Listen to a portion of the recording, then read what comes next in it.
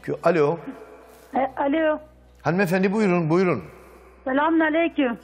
Aleykümselam efendim. Programımıza hoş geldiniz. Hocam öncelikle sizi çok çok çok seviyorum. Allah size razı olsun inşallah bizden de. Sizden de Allah razı olsun. Allah ebeden razı olsun. Buyurun hanımefendi. Buyurun. Hocam e, ben bir süredir size ulaşmaya çalışıyorum. İki tane sorum var. Evet dinliyoruz. Birinci, birinci sorum benim, benim hiç mesela hani köy, köy kadınlarıyız. Bir sosyal görmek gücümüz şeyimiz yok. E, Eşimize parasıyla böyle onun haberi olmadan küçük de olsa sadaka veriyoruz. Ee, onun parasıdır. İçinde de gıpta oluyor. Böyle şey oluyor. Böyle oturuyorum diyorum belki onun azabını çekerim. Onun haberi olmadan sadaka vermeye çalışıyorum ama benim param değil. Onun parasıdır. Tamam anladık yani tele, arkadaşlar da yardımcı oldular daha net anlamam için. Ee, eşimden habersiz sadaka veriyorum. Bunun sevabı var mı dedim. Birinci soru bu. Birinci soru bu. Bir de ikinci soru da e, ben Allah tarafından ilham verilebilir insanlar var mı? Mesela ben yaparken aklımda hiç bilmediğim Allah'ın isimleri geliyor. Dilime bakıyorum internette Allah'ın isimleri çıkıyor. Bir de Allah'ın sureleri çıkıyor. Ee, ikinci soru arkadaşlar siz daha net anladıysanız yazın bize. Ee, ilham verilen kalbine Allah tarafından ilham verilen insanlar var mı? Tamam peki. Peki siz iz- kapatın beni daha rahat dinleyiniz. Arkadaşlar kalbine ilham verilen kişiler olabilir tabii ki ama o onlara verilen bilgi bağlayıcı bilgi değil. Bizi bağlamaz o bilgiler. Mülhem olan kişiler vardır. Mesela Hazreti Peygamber kendisine ilham verilen kişilerden birinden bahsederken Hazreti Ömer ee, Ömer diyor, Ömer'den bahsediyor mesela. Hazreti Ömer'in böyle bir öngörüsü var, ön sezisi var. Hatta muvaffakat Ömer diye bir kavram var bizim dini bilenler yani din, dinde biraz daha hani araştırma yapanlar bilirler. Muvaffakat Ömer nedir? Bazı olaylarda Hazreti Ömer tavır koymuştur. Allah şöyle ayet indirse keşke demiştir. Yani bir problem var, problemin çözümü için keşke şöyle bir emir inse demiştir. Em- Emirler de ona uygun inmiştir. Hazreti Ömer'le teyitleşmiştir yani e, Allah'ın indirdiği ayetler. Yani aynı anlama gelmiştir.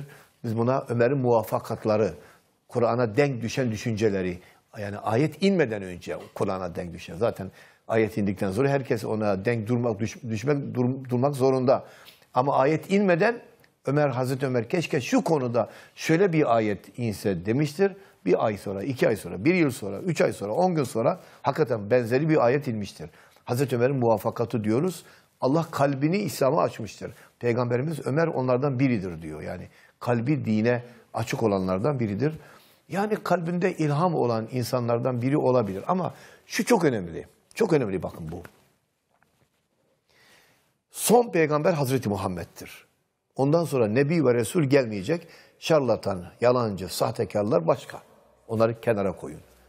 Kendini peygamber kabul eden olur. Kendini Allah kabul eden olur.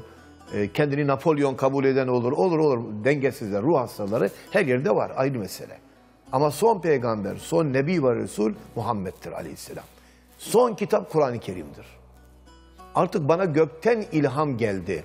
Gökten bana emir geldi. Bana rüyamda emredildi diyen kim varsa ya hastadır kafadan ya da şeytan onunla oynuyor veyahut da bir rüya görmüştür, rüyanın etkisinde kalmıştır.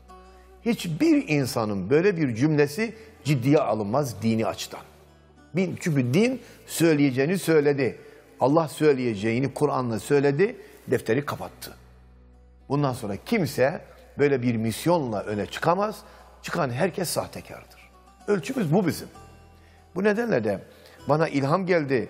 Namazı bırak artık. Bana ilham geldi. Senin orucuna gerek yok. Bana ilham geldi. Gel elini tutayım seni cennete götüreyim. Bunu diyen yalancıdır. O kendini cennete götürsün bakayım önce. Nasıl cennete götüreceksin insanları? Allah'ın peygamberi bile kızına kızım namazını ihmal etme.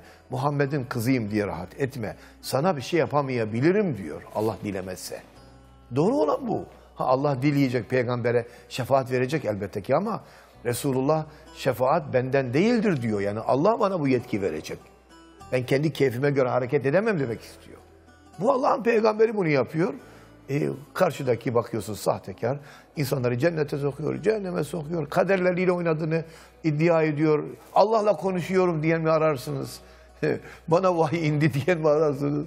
Bana gelecek bildirildi diyen mi ararsınız? Böyle e, yığınla yanlış insan, kötü insan, şer insan piyasada oynayabilir. Lütfen onlara dikkat ediniz.